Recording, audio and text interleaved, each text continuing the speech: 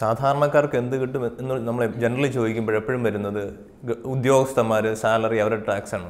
പക്ഷേ ഗവൺമെന്റ് കൂടുതൽ M S M E സെക്ടറിനൊക്കെ ട്രസ്റ്റ് കൊടുത്തുകൊണ്ടൊക്കെ കഴിഞ്ഞ വർഷങ്ങളിലൊക്കെ പല സ്കീമുകളും വന്നിട്ടുണ്ട്. നമ്മുടെ ഈ ബഡ്ജറ്റും എം എസ് എം ഇ അതായത് അത്രയും പിന്നെ വലിയ കോർപ്പറേറ്റ് അല്ല എന്നാൽ പ്രൊപ്പറേറ്റർഷിപ്പ് അല്ല ഇതിന്റെ ഇടയ്ക്ക് വരുന്നൊരു വലിയ വിഭാഗമാണ് നെടുന്തൂണായിട്ട് രാഷ്ട്രത്തിന്റെ വർക്ക് ചെയ്യുന്നത്. ആ ഒരു സെഗ്മെന്റിന്റെ ഒരു ഉന്നമനത്തിന് വേണ്ടിയിട്ട് ഈ ബഡ്ജറ്റ് എങ്ങനെയാണ് വർക്ക് ചെയ്യാൻ പോകുന്നത് ശരിക്കും തോന്നുന്നു അതൊരു കണ്ടിന്യൂസ് പ്രോസസ്സാണ് കഴിഞ്ഞ കുറച്ച് കാലമായിട്ട് ബാങ്ക് ലോൺസും അങ്ങനെയുള്ള കാര്യങ്ങൾക്കും ഒക്കെ ഒരു ലിബറലൈസ്ഡ് ഒരു ഇതുണ്ടായി government credit guarantee credit guarantee schemes കൊണ്ടുവന്നിട്ടുണ്ട് എനിക്ക് തോന്നുന്നത് പ്രത്യേകം പ്രത്യേകം ക്ലാസിഫിക്കേഷൻ ആയിട്ട് രണ്ട് കോടി വരെ ഗ്യാരണ്ടി ഇല്ലാതെ കൊടുക്കുന്ന എമൗണ്ട് ഉണ്ട് സി ജി എസ് ഈ സെൻട്രൽ ഗവൺമെന്റ് കൊടുക്കുന്ന ഓൾട്ടർനേറ്റ് ഇൻവെസ്റ്റ്മെന്റ്സ് ഉണ്ട്. അതായത് ഈ private equity fund of funds എന്നൊക്കെ പറയുന്ന രീതിയിൽ കൊണ്ടുവന്നിട്ടുണ്ട്. ഒരുപക്ഷെ കേരളത്തിൽ ആ ഒരു ഒരു ഓൺടർപ്രണറിയൽ ഇതില്ലാത്തതുകൊണ്ടായിരിക്കും നമുക്കത് നേരിട്ട് കാണാൻ പറ്റാത്തത്. പക്ഷേ മഹാരാഷ്ട്രയോ ഗുജറാത്തോ ഉത്തർപ്രദേശൊക്കെ പോവുകയാണെങ്കിൽ പല രീതിയിലും ഉണ്ടായിട്ടുള്ള മാനുഫാക്ചറിങ് ഞാൻ ഈ ഡിജിറ്റൽ സ്റ്റാർട്ടപ്പ് അങ്ങനെയുള്ള കാര്യങ്ങളല്ല പറയുന്നത്. മാനുഫാക്ചറിങ് ലെവലിൽ തന്നെ ഒരുപാട് ഉണ്ടായിട്ടുണ്ട് മെയിനായിട്ട് ആങ്സിലറി യൂണിറ്റ്സ് കാരണം നമുക്കറിയാം ഇപ്പം ഇന്ത്യ വളരെ ശക്തമായി മൊബൈൽ എക്സ്പോർട്ട് ചെയ്യുന്ന ഒരു ഒരു രാഷ്ട്രമാണ്. Mobile മാനുഫ mobile phone physical mobile phone. അപ്പോൾ അതിനൊക്കെ ഒരുപാട് ആക്സസറീസ് വേണം. അപ്പോൾ ഈ ഓട്ടോമൊബൈൽ സെക്ടർ നമ്മൾ വളരെ ശക്തമായിട്ട് ഒരു ഒരു ഇതുള്ളൊരു ഏരിയ ഉള്ള ഒരു രാജ്യമാണ്. അപ്പം ഇതിനൊക്കെ ആക്സസറി ഉണ്ടാക്കുക എന്ന് പറയുന്നതും ഒരു വലിയ ഒരു ആക്ടിവിറ്റി തന്നെയാണ്. അപ്പോൾ ഈ ഏരിയയിലുള്ള എം എസ് എം ഇ സെക്ടറിനൊക്കെ ഒരു ബാങ്ക് സപ്പോർട്ടും മറ്റുമൊക്കെ കിട്ടിയിട്ടുണ്ട്. കാരണം നമുക്ക് ബാങ്കുകളുടെ ഹെൽത്ത് വളരെ വളരെ മെച്ചപ്പെട്ടു. പഴയ രീതിയിലുള്ള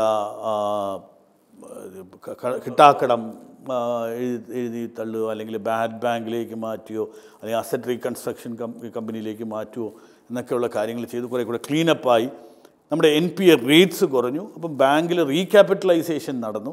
പുതിയ മൂലധന നിക്ഷേപം ഉണ്ടായി. അപ്പോൾ ഇങ്ങനെയൊക്കെ ഉള്ളത് ജനറലി ആ ഒരു ഒരു അറ്റ്മോസ്ഫിയർ അവിടെ ഉണ്ടായിട്ടുണ്ട്. നമ്മൾ കേരളത്തിലിരുന്ന് സംസാരിക്കുമ്പോൾ നമുക്ക് ഇതൊന്ന് കാണാൻ ഒക്കില്ല കാരണം എന്ന് കേരളത്തിന്റെ ഒരു വളരെ ഡിഫറെന്റ് എക്കോ സിസ്റ്റമാണ് നമുക്ക് ലാൻഡ് അവൈലബിലിറ്റിയുടെ ഇഷ്യൂസ് ഉണ്ട്. മാത്രമല്ല നമ്മുടെ ഈ പറയുന്ന ആ ഡെമോഗ്രാഫി കംപ്ലീറ്റ് നമ്മൾ എക്സ്പോർട്ട് ചെയ്ത ഒരു ഒരു സ്റ്റേറ്റാണ് നമ്മൾ ഫോറിൻ റെമിറ്റൻസ് കൊണ്ട് മുന്നോട്ട് പോകും. അപ്പോൾ ഒരു ഓൺടർപ്രണറിയൽ ഒരു ഒരു ഒരു ഇനീഷ്യേറ്റീവ്സ് കുറഞ്ഞിട്ടുള്ള ഒരു ഒരു സ്റ്റേറ്റ് തന്നെയാണ്. നമ്മളുടെ കൂടുതൽ കൺസംഷനാണ് ഇതാരും ഞാനൊരു ഒരു പൊളിറ്റിക്കലി പറയുന്ന കാര്യമല്ല. ഒരു ജനറലി നമ്മുടെ ഒരു നേച്ചർ അതാണ്.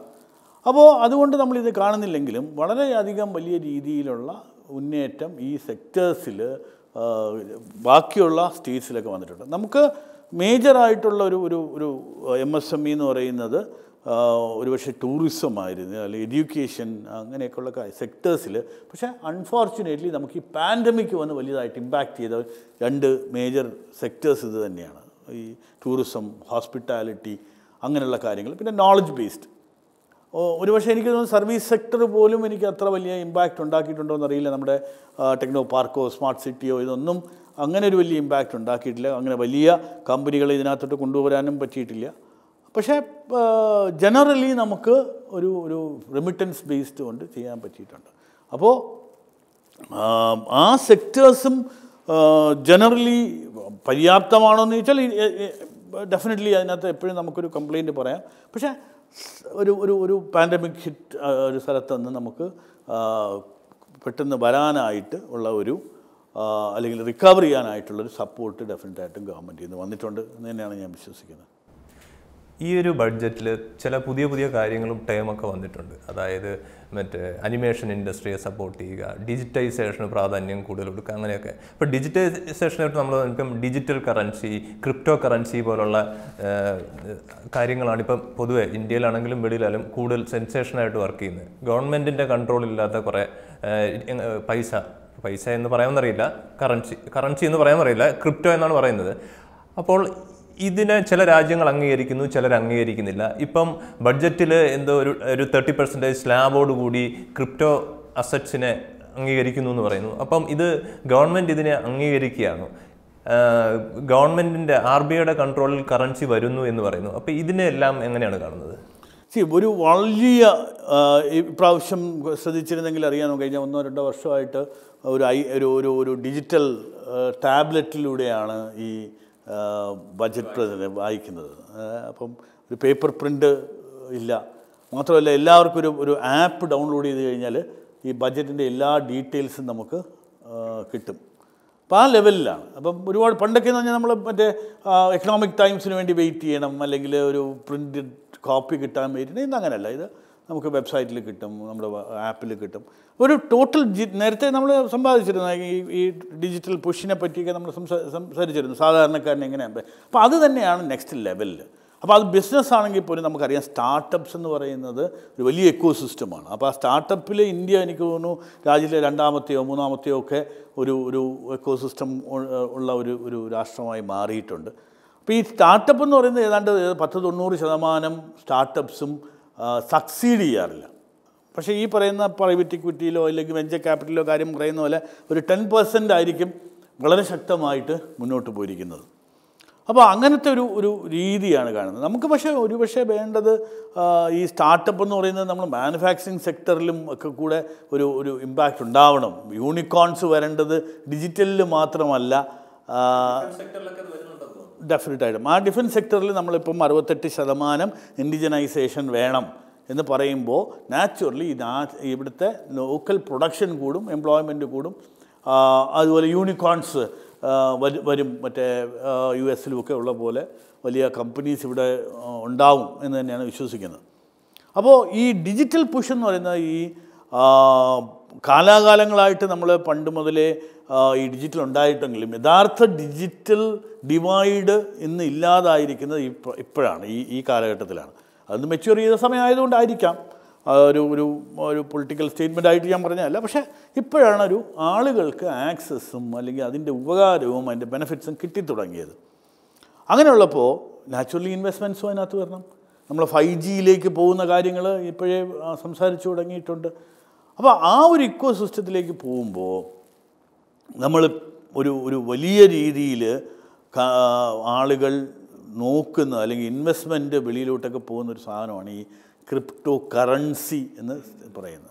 അപ്പോൾ എനിക്ക് ആ കറൻസി എന്ന് പറയുന്ന വേർഡ് എനിക്ക് യൂട്ടിലൈസ് യൂസ് ചെയ്യാനായിട്ടില്ല ഒരു താല്പര്യമില്ല. പക്ഷേ എല്ലാവരും പറയുന്ന ക്രിപ്റ്റോ കറൻസി എന്ന് പറയുന്നതുകൊണ്ട് ഞാൻ അങ്ങനെ ഒരു വേർഡ് യൂസ് ചെയ്യുന്നുള്ളൂ കറൻസി എന്ന് എപ്പോഴും പറയുമ്പോൾ അതിനൊരു ഫിയറ്റ് വേണം. അല്ലെങ്കിൽ ഒരു ഗവൺമെന്റിന്റെ ഒരു ഒരു ഒരു സപ്പോർട്ടോടുകൂടി ഇറക്കുന്നതിനെ ഞാൻ കറൻസി ആയിട്ട് അംഗീകരിക്കാറുള്ളൂ. ഇതെന്ന് പറയുന്നത് ക്രയവിക്രയത്തിന് യൂട്ടിലൈസ് ചെയ്യുന്ന ഒരു ഡിജിറ്റൽ മാർഗം. അപ്പം ഞാനത് ആക്സ് കൊടുക്കാനും താങ്കളത് ആക്സെപ്റ്റ് ചെയ്യാനും തയ്യാറാണെങ്കിൽ അതൊരു ക്രയവിക്രയത്തിന് ഇത് ചെയ്യും. അതിനൊരു വാല്യൂ അസൈൻ ചെയ്തിട്ടുണ്ട്. ഈ വാല്യൂ എന്ന് പറയുന്നത് മാർക്കറ്റിലെ ഡിമാൻഡ് അനുസരിച്ചാണ്. അപ്പോൾ അതാണ് ഈ ബിറ്റ് കോയിൻ എന്നും മെരിത്രിയോ എന്നൊക്കെ പറയുന്ന എണ്ണായിരത്തിൽ പരം അത്രയും കോയിനുകൾ ഇവിടെ ഉണ്ട്. ചെറുതും വലുതും തട്ടിപ്പായതും. എന്തിനു വേണ്ടി? കാസർഗോഡ് ഒരു മോറിസ് കോയിൻ എന്ന് പറയുന്ന ഒരു കോയിൻ ഇറങ്ങിയിരുന്നു. അല്ലെങ്കിൽ ഒരു ഒരു ക്രിപ്റ്റോ കറൻസി ഇറങ്ങിയിരുന്നു. ഏതാണ്ട് ആയിരത്തി ഇരുന്നൂറ് കോടി രൂപയോളം പിരിച്ചു എന്നാണ് അതിന്റെ അന്വേഷണ ഏജൻസീസ് പറഞ്ഞത്. അല്ലാതെ ഏതാണ്ട് മൂവായിരം കോടി രൂപയും പതിനൊന്ന് ലക്ഷം ആളുകളും ഇതിനകത്ത് ഇൻവെസ്റ്റ് ചെയ്യുന്നു. അപ്പോൾ ഇതിന്റെ ഒരു വ്യാപ്തി മനസ്സിലാക്കണം. അപ്പോൾ അങ്ങനെ ഒരു സാധനത്തിനകത്ത് ഗവൺമെന്റ് ഒരു ടാക്സ് ചെയ്യാൻ തീരുമാനിച്ചു. അതായത് വാങ്ങിക്കുന്നതിന്റെയും വിൽക്കുന്നതിന്റെയും വ്യത്യാസത്തിൽ മുപ്പത് ശതമാനം ടാക്സ് പ്രോഫിറ്റ് ആണെങ്കിൽ. ലോസ് ആണെങ്കിൽ അത് നിങ്ങൾ അനുഭവിക്കണം. ഗവൺമെന്റ് അതിന് ടാക്സ് റിബേറ്റോ അല്ലെങ്കിൽ സെറ്റ് ഓഫോ ക്യാരി ഫോർവേഡോ ഒന്നും സമ്മതിക്കുന്നില്ല. അപ്പം അതിന്റെ ഒരു ക്യാരക്ടർ ആ ടാക്സേഷന്റെ ഒരു ക്യാരക്ടർ നമ്മൾ നോക്കുകയാണെങ്കിൽ മനസ്സിലാവണം. ഇതൊരു ഇല്ലീഗൽ ഇൻകം വരുന്ന രീതിയിൽ ഒരാളെ പിടിച്ചു. ഡ്രഗ്സ് സെല്ല് ചെയ്തപ്പോൾ ഒരു ഒരു പ്രോഫിറ്റ് ഉണ്ടാക്കി. അതിനെ ടാക്സ് ചെയ്യണം എന്നുള്ളതാണ് ടാക്സ് നിയമം. അത് ഒരിക്കലും ലീഗലാവില്ല ആ ട്രാൻസാക്ഷൻ ലീഗലാവില്ല അതിനകത്ത് ലേറ്റസ്റ്റ് ആയിട്ട് പണ്ട് ഈ പറയുന്ന ഹാജി മസ്താനൊക്കെ പോലുള്ള ആളുകൾ പണ്ട് ഞാൻ വായിച്ചിട്ടുണ്ട് അവർ ഈ ലീഗൽ ഇൻകം ഉണ്ടാക്കുന്നതിനുള്ള എക്സ്പെൻസസ് ഡിഡക്റ്റ് ചെയ്ത് ക്ലെയിം ചെയ്ത് പ്രോഫിറ്റാണ് ക്ലെയിം ചെയ്തിരുന്നതെന്ന് പറഞ്ഞു. അപ്പോൾ അതിനൊരു നിയമം കൊണ്ടുവന്നു. ഇല്ലീഗൽ ഇൻകത്തിന് ഇല്ലീഗൽ എക്സ്പെൻസസ് ചെയ്തിട്ടുണ്ടെങ്കിൽ അത് ആ എക്സ്പെൻഡിച്ചറായിട്ട് അലവ് ചെയ്യില്ല ആ ഇൻകത്തിനെ ടോട്ടലി ടാക്സ് ചെയ്യും. അപ്പോൾ ഏതാണ്ട് അതുപോലെ തന്നെയാണ് ഈ പറയുന്ന ടാക്സേഷനെ ട്രീറ്റ് ചെയ്യുക എക്സ്പെൻഡിച്ചർ ഇതിനു വേണ്ടി ചിലവാക്കിയിട്ടുണ്ടെങ്കിൽ അത് ടാക്സ് ചെയ്യില്ല. ആ ടാക്സിൽ നിന്ന് കുറവ് വരുത്താൻ ഒക്കില്ല. അപ്പം ഇത് ഇല്ലീ ലീഗലാണ് എന്ന് പറഞ്ഞിട്ടുണ്ടെങ്കിൽ പറഞ്ഞിട്ടുണ്ടോ എന്ന് ചോദിച്ചാൽ ഡെഫിനറ്റായിട്ടും ലീഗൽ അല്ല എന്ന് തന്നെ ഞാൻ മനസ്സിലാക്കുന്നു. അതെ. അതായത് ടാക്സിനകത്ത് ഇപ്പം എനിക്ക് തോന്നുന്നത് അത് ഗവൺമെന്റ് തന്നെ പറഞ്ഞിട്ടുണ്ട് ഇത് ലീഗലാക്കി എന്ന് വിശ വിചാരിക്കേണ്ട യാതൊരു കാര്യവുമില്ല ഇൻകം ഉണ്ടാക്കിയാൽ അതിന് ടാക്സ് ചെയ്യും. അപ്പോൾ ഇതിന്റെ റീസൺ എന്താണെന്ന് ടാക്സ് ചെയ്യുക എന്നുള്ളത് മാത്രമല്ല ഇതൊരു മോണിറ്ററിങ് ആണ്. One percent tax deduction at source ഉണ്ടാക്കി വെച്ചിട്ടുണ്ട്. അപ്പം ആരുടെ ട്രാൻസാക്ഷൻ നടത്തിയാലും ഇതാരൊക്കെയാണ് ഈ ട്രാൻസാക്ഷൻ നടത്തുന്നതിന്റെ ഒരു ഒരു ഒരു രൂപം ഉണ്ടാവും? അതിന്റെ ഡെപ്ത് എത്രയാണെന്ന് മനസ്സിലാകും? അപ്പോൾ ഇങ്ങനെയുള്ള കാര്യങ്ങളെ പറ്റിയുള്ളൊരു ഒരു അളക്കാൻ വേണ്ടിയിട്ടുള്ള ഒരു ഒരു ഒരു ഒരു മെക്കാനിസമാണ് ഈ തേർട്ടി പെർസെന്റ് ടാക്സ് എന്ന് തന്നെയാണ് ഞാൻ വിശ്വസിക്കുന്നത്. ഒരുപാട് ക്ലാരിറ്റി ഉണ്ടാകേണ്ടിയിരിക്കുന്നു. അപ്പം പലരും പലതും ചോദിക്കുന്നുണ്ട്. എന്തായാലും ഈ രീതിയിലുള്ള ട്രാൻസാക്ഷനെ ഗവൺമെന്റ് അലൗ ചെയ്യുന്നില്ല. അപ്പോൾ പിന്നെ ഗവൺമെന്റ് എന്തിനാണ് പുതിയ ഭാരതത്തിലെ ഒരു ഒരു ഡിജിറ്റൽ റുപ്പി ഉണ്ടാക്കുന്നത്? അത് ഗവൺമെന്റിന്റെ അല്ലെങ്കിൽ റിസർവ് ബാങ്ക് ഓഫ് ഇന്ത്യ എന്ന് പറയുന്ന പ്രസ്ഥാനമാണ് ഇന്ന് ഇന്ത്യയുടെ കറൻസി ഇറക്കാൻ അധികാരമുള്ളവർ അവർ തന്നെ ഇറക്കുന്നു. അപ്പം അതിന്റെ ഒരുപാട് ചിലവുകളുണ്ട് ഇന്ന്. ഈ കറൻസി ക്യാഷ് എന്ന് പറയുന്നത് ഇറ്റ്സ് എ കോസ്റ്റ്ലി തിങ്. ഈ കോസ്റ്റ്ലി ആയിട്ടുള്ള ഒരു ഒരു ഒരു ഒരു അസറ്റിനെ പ്രിന്റ് ചെയ്ത് ഡിസ്ട്രിബ്യൂട്ട് ചെയ്ത് ക്യാരി ചെയ്ത് മാത്രമല്ല ഇത് കളഞ്ഞു പോകാനും ഒരു നമ്മുടെ പോക്കറ്റിലിട്ടാൽ കളഞ്ഞു പോകാനും പോക്കറ്റ് അടിച്ച് പോകാനുള്ള ഇതുണ്ട്.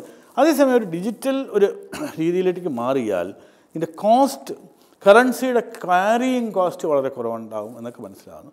മാത്രമല്ല ഈ ക്രിപ്റ്റോ കറൻസി എന്ന് പറയുന്നത് ബ്ലോക്ക് ചെയിൻ ടെക്നോളജി വഴിയാണിത് യൂസ് ചെയ്യുന്നത്. അപ്പോൾ ബ്ലോക്ക് ചെയിൻ ടെക്നോളജിയുടെ ഗുണം എന്തെന്ന് പറഞ്ഞു കഴിഞ്ഞാൽ ട്രാൻസ്പെറന്റ് ആണ് ഓഡിറ്റഡ് ആണ് ട്രാൻസാക്ഷൻ ട്രാക്കബിൾ ആണ് അപ്പോൾ ആ ടെക്നോളജി യൂസ് ചെയ്ത് ഭാരതത്തിന്റെ തന്നെ ഒരു തനതായ ഒരു ഈ റുപ്പി അല്ലെങ്കിൽ അങ്ങനെയുള്ളൊരു പേരാണ് ആളുകൾ പറഞ്ഞു തുടങ്ങിയിരിക്കുന്നത്. അപ്പോൾ ഡിജിറ്റൽ കറൻസി ഉണ്ടെങ്കിൽ അത് വിനിമയത്തിനും ഒക്കെ വലിയ ഉപകാരം ഉണ്ടാവും. കോസ്റ്റ് കുറഞ്ഞു വരും. നമുക്ക് അവസാന ഭാഗത്തോട്ട് വരാം. ഈ ബഡ്ജറ്റിനെ പറ്റിയുള്ള ക്രിറ്റിസിസം എന്ന് പറഞ്ഞാൽ ഇതിൽ ടാക്സ് സാധാരണക്കാരന് ടാക്സ് ബെനിഫിറ്റ് ഒന്നുമില്ല. ജനറൽ ഇൻകം ടാക്സ് വലുതായിട്ടൊന്നും ഇതിനെപ്പറ്റി പറയുന്നില്ല.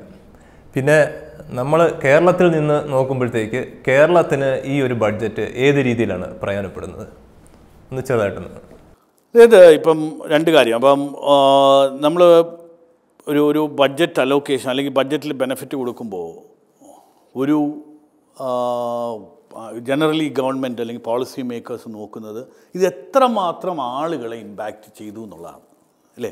നമ്മളൊരു നൂറ്റി നാൽപ്പത് കോടിയോളമുള്ള ഒരു ജനതയിൽ ഈ എത്രയും മാക്സിമം നമ്പർ ഓഫ് ആളുകൾക്ക് ബെനിഫിറ്റ് ഉണ്ടാകണം. അതാണ് ഒരു ഏത് പോളിസി മേക്കർ നോക്കുന്ന ഒരു കാര്യം. അപ്പോൾ അങ്ങനെ നോക്കുകയാണെങ്കിൽ ഞാൻ പെട്ടെന്നൊരു ഒരു ഒരു കണക്ക് നോക്കിയപ്പോൾ കഴിഞ്ഞ വർഷത്തെ ഇൻകം ടാക്സ് റിട്ടേൺ ഫയൽ ചെയ്ത ആളുകളുടെ എണ്ണം എന്ന് പറയുന്നത് ഏതാണ്ട് അഞ്ച് കോടി തൊണ്ണൂറ് ലക്ഷം ആളുകളാണ്. അതിനകത്ത് ഈ ഫയൽ ചെയ്തവരാണ്. അപ്പം ടാക്സ് ആക്ച്വലി കൊടുത്തവരെന്ന് പറയുന്നത് ഇതിനേക്കാൾ വളരെ കുറവാണ്.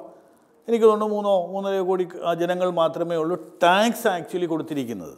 അതിനകത്തും ബേസിക് അഞ്ച് ലക്ഷമോ അല്പത്തി അല്ലെങ്കിൽ ഒരു ഒരു ഇരുപത്തഞ്ച് ലക്ഷത്തിനൊക്കെ മുകളിലുള്ളവർ എന്ന് പറയുന്നത് ഒരു ഒരു വലിയ രീതിയിലുള്ള ടാക്സ് കൊടുത്തിട്ടുള്ളതെന്ന് പറഞ്ഞാൽ സൂപ്പർ റിച്ച് അല്ലെങ്കിൽ ഒരു ഒരു അപ്പർ റിച്ച് സൂപ്പർ റിച്ച് എന്നൊക്കെ പറയുന്ന കാറ്റഗറിയിലുള്ളവരാണ്. അപ്പം ആക്ച്വലി ഇതുകൊണ്ട് ബെനഫിറ്റ് ചെയ്യുന്നതെന്ന് പറയുന്നത് വളരെ മിനിസ്ക്യൂളായിട്ടുള്ളൊരു പോപ്പുലേഷനാണ്. ഇത് നമ്മൾ കാണുമ്പോൾ പത്രത്തിലും മറ്റുമൊക്കെ കാണുമ്പോൾ മറ്റേ ഇൻകം ടാക്സിന് ബെനഫിറ്റ് സാധാരണക്കാരന് ഇതുണ്ടായി എന്നൊക്കെ പറയുന്നത് ഒരു നറേറ്റീവ് തന്നെയാണ്. കാരണം എനിക്ക് തോന്നുന്നു ഇത് എഴുതുന്ന പത്രക്കാരനൊരു ബെനഫിറ്റ് ഉണ്ടായി എന്നുള്ളത് കൊണ്ട് ഇന ഇന ഇന ഇന ലൈറ്റർ വെയിൻ അദ്ദേഹം അത് എനിക്കൊരു ബെനിഫിറ്റ് ഉണ്ടായി എന്നുള്ളതിന്റെ തലക്കെട്ട് എഴുതുന്നു എന്നല്ലാതെ ഒരു വലിയ ഇമ്പാക്റ്റ് അങ്ങനെ ഒരു ഉണ്ടായിട്ടില്ല. കാരണം നമ്മുടെ ഒരു tax G D P ratio ഒക്കെ നോക്കുമ്പോൾ ഇപ്പോഴും വളരെ മോശമായിട്ടുള്ളൊരു സമയമാണ്. Number of people coming in the tax net also ഒരു വളരെ കുറവാണ്.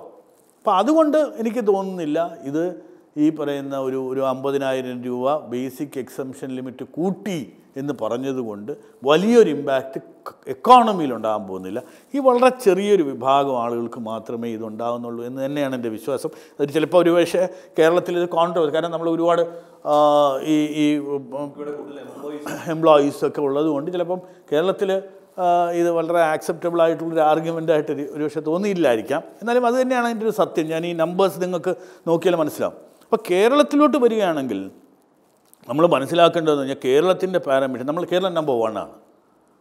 അപ്പം കേരളത്തിന് കിട്ടുന്ന ഫൈനാൻസ് കമ്മീഷന്റെയൊക്കെ അലോക്കേഷൻ എന്ന് പറയുന്നത് നമ്മുടെ G D P G S D പിയുടെ ബേസിസിലാണ് ഈ അലോക്കേഷൻ കിട്ടുന്നത്. അപ്പോൾ ജി എസ് ഡി പി വെച്ച് നോക്കുകയാണെങ്കിൽ നമുക്ക് നാഷണലിനേക്കാൾ ആവറേജ് കൂടുതലാണ് നമ്മുടെ പെർ ക്യാപിറ്റ ഇൻകം അപ്പം ആളോഹരി വരുമാനം കൂടിയതുകൊണ്ട് നമുക്ക് കിട്ടുന്ന അലോക്കേഷൻ കുറയും. കാരണം നമുക്ക് ഓൾറെഡി നമ്മുടെ ഒരു ഒരു ഒരു നമ്പർ വൺ സ്റ്റേറ്റാണ് അപ്പം ആ ഒരു ഒരു നെഗറ്റിവിറ്റി വന്നിട്ടുണ്ട്.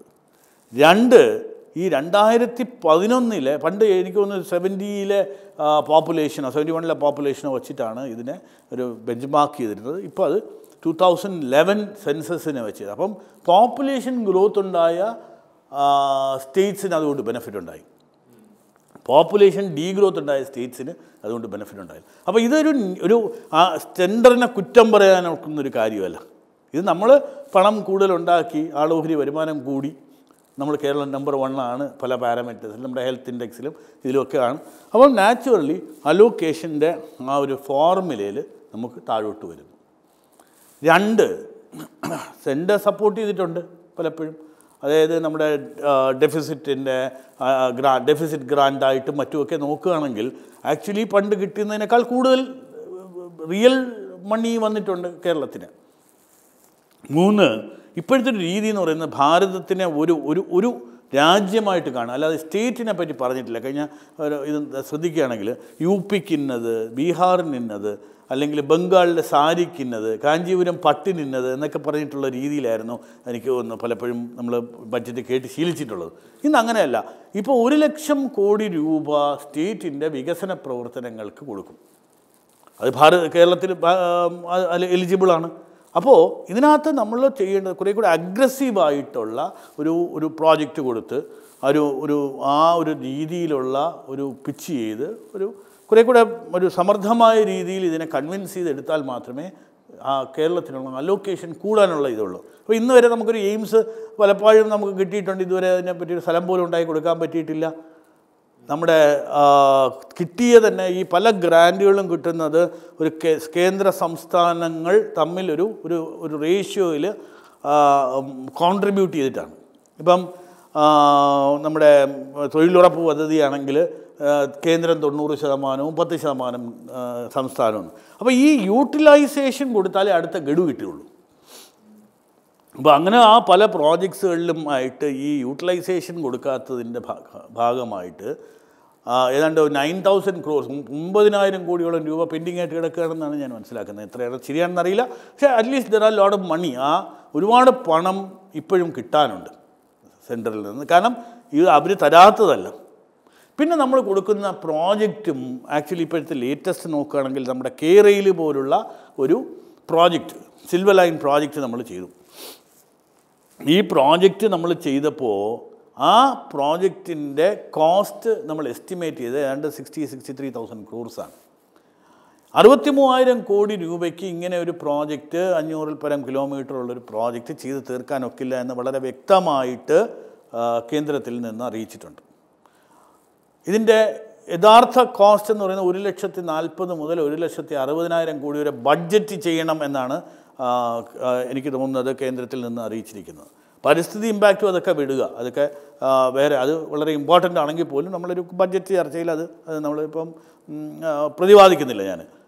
വലിയധികം പരിസ്ഥിതി കാരണം നമ്മൾ സസ്റ്റൈനബിൾ ഡെവലപ്മെന്റ് എന്നൊക്കെ പറയുമ്പോൾ ഇത് സസ്റ്റെയിൻ ചെയ്താലേ കേരളത്തിന് ഒരു പുരോഗതിയുള്ളൂ എന്ന് മനസ്സിലാക്കണം അപ്പം ആ സസ്റ്റൈനബിൾ ഡെവലപ്മെന്റിന് എഗൻസ്റ്റായിട്ടുള്ള ഒരു ഒരു പ്രോജക്റ്റാണ് എന്ന് പരിസ്ഥിതി പ്രവർത്തകരും പറയുന്നു. പക്ഷേ ഇതിന്റെ ഒരു ഫിനാൻഷ്യൽ ഫീസിബിലിറ്റി എന്താണ്?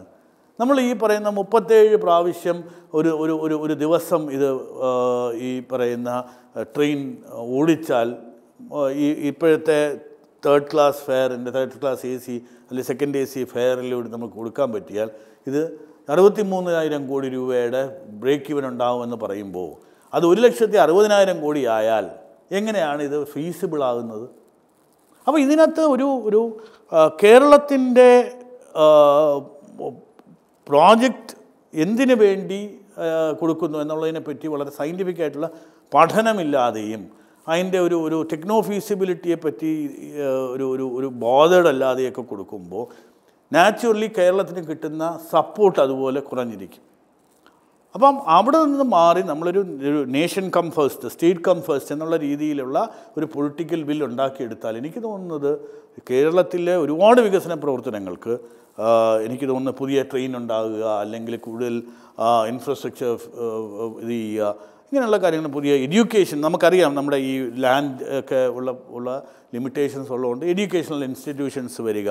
ടൂറിസം റിലേറ്റഡ് പ്രോജക്ട്സ് ഉണ്ടാകുക. ഇങ്ങനെയുള്ള കാര്യത്തിൽ കോൺസെൻട്രേറ്റ് ചെയ്ത് നമ്മുടെ സ്ട്രെങ്തിന് വേണ്ടി നമ്മൾ ചെയ്യുകയാണെങ്കിൽ ഒരു പക്ഷേ അതിനുള്ള സപ്പോർട്ട് കിട്ടിയേക്കാം. പക്ഷേ സിൽവർ ലൈൻ പോലെയൊക്കെ ഉള്ള കേരളത്തെ വലിയ വലിയ കടക്കണിയിലേക്ക് ഇപ്പോൾ തന്നെ ഓൾറെഡി എനിക്ക് തോന്നുന്നു മൂന്നോ മൂന്നര ലക്ഷം കോടി രൂപയുടെ കടക്കണിയിലാണ് നമ്മൾ അവിടെ നിന്ന് വീണ്ടും അതിനേക്കാൾ കൂടുതൽ രണ്ട് ലക്ഷം കോടിയോളം രൂപ വരുന്ന ഒരു അടുത്ത കടമെടുത്ത് ചെയ്യേണ്ട ഇവിടെ നിന്ന് നാല് മണിക്കൂറിൽ കാസർഗോഡ് എത്താമെന്ന് പറയുന്ന ഒരു രീതി എങ്ങനെയാണ് ശരിയാകുന്നത്? എനിക്കിപ്പോഴും മനസ്സിലാകുന്നില്ല. അത് ചിലപ്പം സാധാരണക്കാരനായി നമുക്ക് മനസ്സിലായില്ലെങ്കിൽ വളരെ ടെക്നിക്കലായിട്ട് പഠിക്കുന്ന കേന്ദ്രത്തിലിരിക്കുന്ന ബ്യൂറോക്രാറ്റ്സിന് അത് ഡെഫിനറ്റ്ലി മനസ്സിലാവും. ഇപ്പം പലർക്കും അറിയാം ഇവിടെ നിന്ന് കാസർഗോഡ് നാല് മണിക്കൂർ എത്തേണ്ട എത്ര പേരുണ്ട് ഒരു ദിവസം എന്നുള്ളത് നമുക്ക് ഊഹിക്കാവുന്നതേ ഉള്ളൂ. അപ്പം ഞാൻ എവിടെയോ മനസ്സിലാക്കി ക്യാൻസർ രോഗികൾക്ക് നാല് മണിക്കൂർ കൊണ്ട് തിരുവനന്തപുരത്ത് എത്തി ക്യാൻസർ ചികിത്സ നടത്താം. അപ്പം അതിനൊരു മറുപടി ഞാൻ കേട്ടു. അവിടെ ഇതിന്റെ നാലിലൊന്ന് നാലിലൊന്നും അല്ല ഒരു ഒരു ആ ഒരു ഒരു നൂറ് കോടി രൂപയുടെ ഇൻവെസ്റ്റ്മെന്റ് ഉണ്ടെങ്കിൽ ഒരു നല്ല ക്യാൻസർ ആശുപത്രി കോഴിക്കോട് അല്ല കാസർഗോഡ് പണിഞ്ഞൂടെ? അപ്പം ആ രീതിയിലുള്ള കാര്യങ്ങളൊക്കെ പറ്റിയൊക്കെ നമ്മൾ കേരളം കുറച്ചുകൂടെ ഒരു ഒരു ഒരു ഒരു പ്രോഗ്രസീവായിട്ട് ചിന്തിച്ചാലും ഒരു പ്രാക്ടിക്കലായിട്ട് ചിന്തിച്ചാൽ എനിക്ക് തോന്നുന്നത് ഡെഫിനറ്റ്ലി ഒരു കേന്ദ്ര സംസ്ഥാന ബന്ധം നമുക്ക് യൂട്ടിലൈസ് ചെയ്യാനൊക്കും.